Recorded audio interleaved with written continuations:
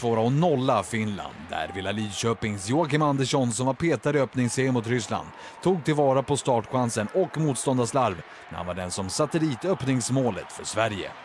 Passningen kom från Johan Esplund och det var just han som tidigt i andra halvlek utökade den svenska ledningen efter en hörnretur.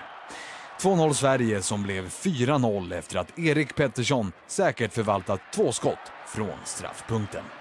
Finland tog sig aldrig in i matchen för att skapa någon nerv. Istället ny hörna för Sverige och Johan Löfstedt distinkt bakom Kimmo Kyllönen i det finländska målet.